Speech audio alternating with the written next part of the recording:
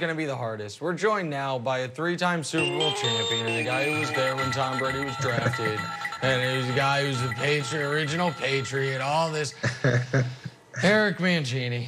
Hi, Coach. Uh, How are you? Uh, Nick, I, I, heard you talk about me coming on and saying I was going to make fun of you and laugh at you. I think I've been very sensitive to your feelings during this difficult time where you were so incredibly wrong. I didn't text you after the game. I didn't call you after the game. I didn't. I didn't gloat about all the ways that you were wrong. I, and I think I deserve a little bit of credit for that because of our, our friendship and and how you know. Um, That's true. Concern, you know concerned, what? You know what? You didn't rub it in. You. I didn't. You didn't rub it in. That is true. To coach's credit, he didn't rub it in. In fact, he texted me Monday saying, "Is are you okay yet?" And I said, I don't know. And the follow up was, okay, just wanting to know how long I have to wait before I make fun of you. And now you're on the show today. So you did at least give me about a 36 hour grace period. Okay, so here's my question, coach.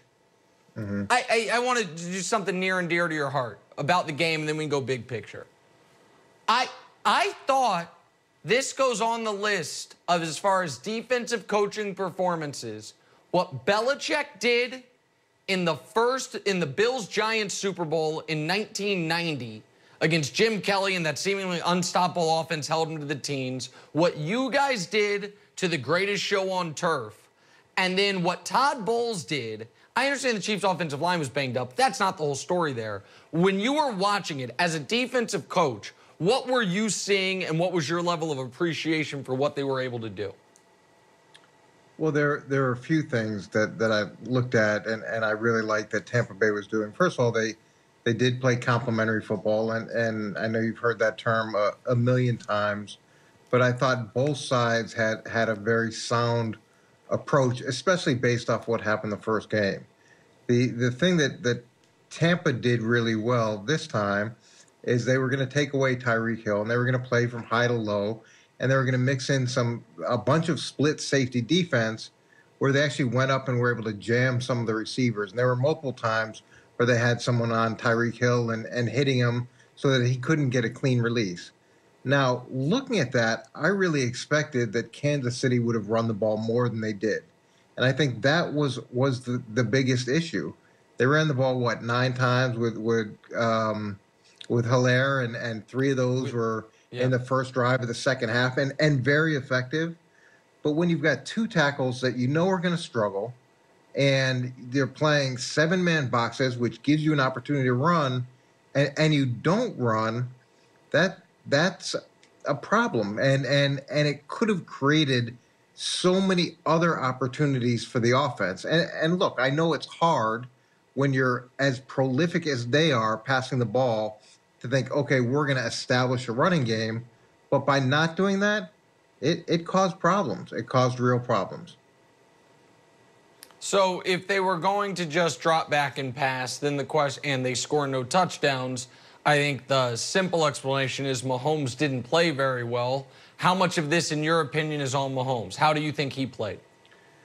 No, I don't think it's it's all a function of Mahomes. There were several times, especially early in the game, where guys were covered down the field. And and and look, he did have less time than he traditionally has because of, of the problems they had on the O line and and how good Tampa's defensive line um, is. And and he scrambled for the first down, and that's what you do against split safety defense with with man to man. Everybody's got their back turned, and, and he was able to go get some first downs. And he made those incredible throws in the second half that were incompletions, but there were some pretty incredible incompletions in the first half too the one that hit Tyreek Hill in the in the face mask in the end zone. Uh, I think Kelce dropped one, uh, at least one in the first half. That was another off balance throw that that Mahomes had. It it you have to you have to help him, and as much as he is a a, a Superman, at some point you still have to be able to help that guy, especially if if if they're struggling. All right, let's go bigger picture now, and let's never talk about the Super Bowl ever again our whole Yeah, we didn't even get to um, talk so about Bruce Tom Brady Arians, and all that he did. well, we, well, we got, well, I'm going to get to Brady here. we've got a lot of time. We've got a lot of time. Yeah, we got a whole off season. We got we got a lot of time. Uh, all right, so I, Bruce Arians said before the Super Bowl, but it came out yesterday that he believes Brady was motivated by proving it wasn't all Belichick. And I've talked with you a bunch about this, and I don't I don't we don't need to rehash the ground of Brady gets there. He's a sixth round pick. You guys saw these amazing traits, but he you guys Tom did it himself, but also with a lot of great coaching, molded himself into who he is now. That to me is not the most interesting part. The interesting part is the end of the relationship.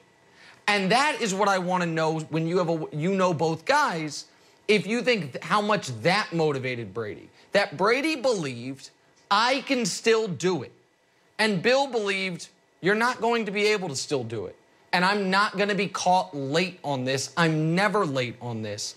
And that, even if you guys get all shared credit for the beginning, the end was not how Tom wanted it to be. So, how much of Brady this postseason and this year was part of, do you think, Bill, Bill gave up on me? When everyone's done talking, Bill thought I couldn't do something, and I'm going to prove to everyone I can. How much do you buy into that?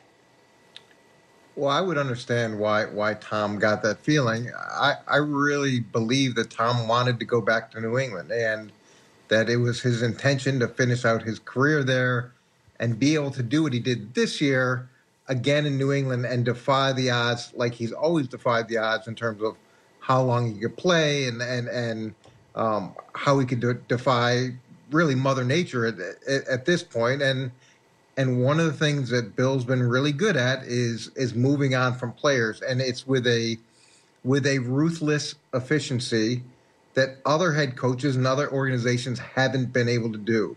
And and he's done it for years and years where where New England legends have either been traded or cut or or, or whatever the whatever the case may be. Now, for Tom, if you're there and you see it happen over and over and over again, at some point, you know it's probably going to happen to you, and and it did. And and Tom, I believe, finds motivation a lot of different ways, but but that probably probably stung. And and too, Nick, remember there was the whole Jimmy Garoppolo situation even before yeah. that, where there was discussion about moving on from Tom.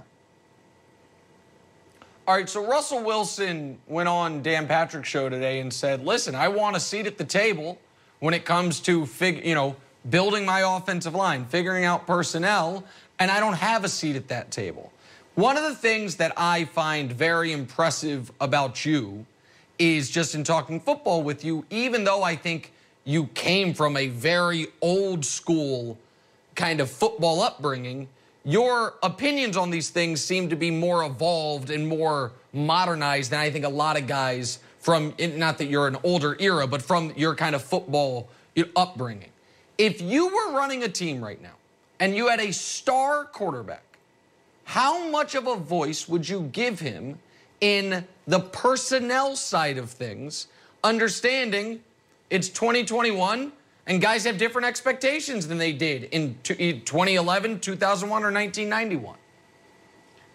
Well, Nick, it, the personnel side of it isn't isn't as clear cut as I think some people believe it is, and and the decisions that that have to be made, they aren't aren't clean and apparent. There is a huge process that that takes place between.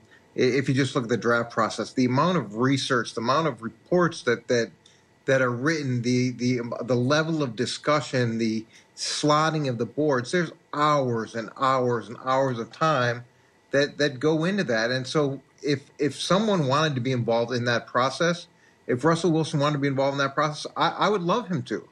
But I would expect him to come in and, and actually do the things that, that you need to do to be able to make the decision that, that he wants to be a part of. I, I think he's smart. I think obviously it impacts him as much as, as anybody, but you just can't show up and say, okay, I want that guy, I want that guy, I want that guy. And then you also have to look at it in terms of if you're talking about free agency, how does it fit into the salary cap? How does it fit into the locker room? There, there's layers to this that Russell could could handle, and his input would probably be very valuable. But it is it is time consuming, and you just can't you can't just show up and pick. Coach, I appreciate you. Uh, tell your son, that your best son, I forget which one it is, the one that's the Mahomes fan. Tell him I feel badly for him. uh, your other sons that are the Brady fans, tell them I don't feel badly for them at all. I'll talk to you later, Coach. Thank you. All right, we'll see you later, Nick. Absolutely. There's my friend, Coach Eric Mangini. Here's Joy with the news. No, no, no, no. Turn on the news. This is the Herdline News. Sometimes driving is great, but sometimes it's not so great, like when it's pouring outside, like when the snow is swirling. That's when you need new Michelin Endurance XT silicone wiper blades designed to repel water, snow, and ice. Get yours today only at Walmart. So the Cowboys released a hype video to get fans ready for the 2021 Ooh, this is a good season. story.